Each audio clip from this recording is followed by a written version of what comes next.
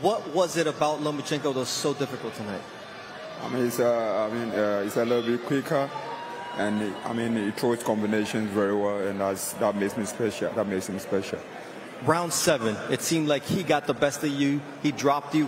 What kept you up and going in this fight? Well, you know, um, I fight for my country. I fight for my people. Um, you know, I let them down, but I believe I'm going to come back stronger. I don't think you let them down. This was a pro Lomachenko crowd, and you're getting their respect tonight because you were so tough.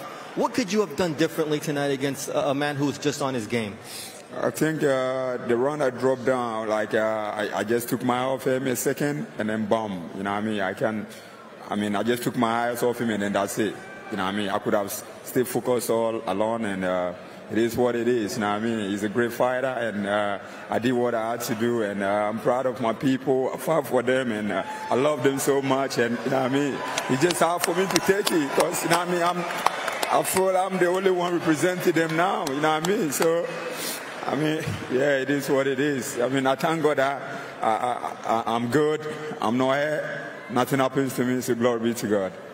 You have only lost to the best in the world in championship fights, so you represent your people well. Where do you go from here? What do you want to do next? Well, um, the aim and the ambition is still the same. I want to be a two-time world champion, and you know, I mean, as far as my people believe in me, I'm, I'm always, I'll always represent them.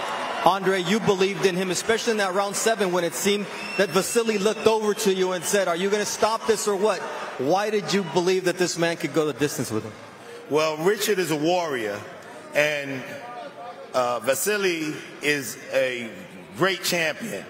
And when he signaled like to stop it, for me to take his his pride and his energy and his diligence away would have been a horrible thing to do. I told Richard to get up and let's get it together. Try not to make any mistakes and keep working. And as you see, he did go the entire 12 rounds of this fight and he fought his heart out. There was moments in the corner where some guys wanted him to go out there and fight and you want him to be intelligent and try to box. Was there anything that Richard could have done tonight differently against a man who was just on point like Vasiliy Lomachenko was? Well, yeah, I mean, he could have been more fluid. Uh, he had moments when he was. And if he didn't stop and give him those moments to attack, I think we would have definitely had a better outcome.